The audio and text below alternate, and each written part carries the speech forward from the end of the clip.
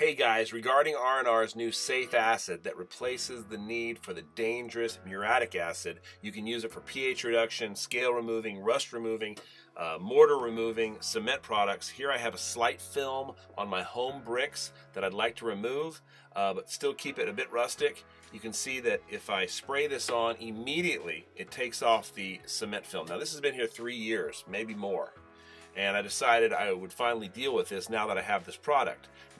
Okay, so here it's a bit more severe. The guy who put in this post had to remove and replace these bricks. He replaced the bricks but didn't know how to grout with mortar, and he put a film of mortar over everything.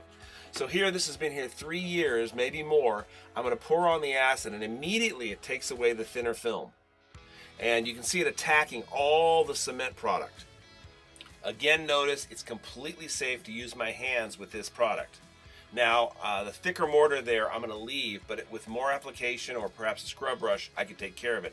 This product is non-toxic, non-fuming. You can breathe it. Imagine that with muriatic acid, you'd pass out. It'll deal with pH. It'll do all of these things that muriatic acid would do.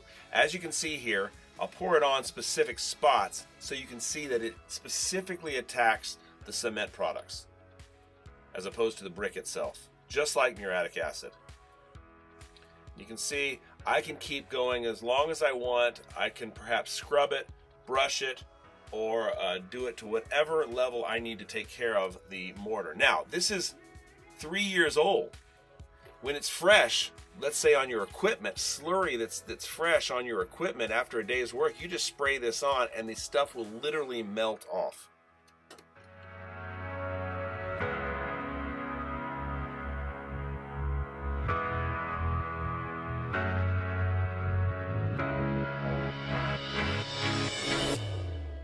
So I'll take a few more swipes at this to get it a little bit cleaner for the look and then I'll wipe it off and you can see the before and after here.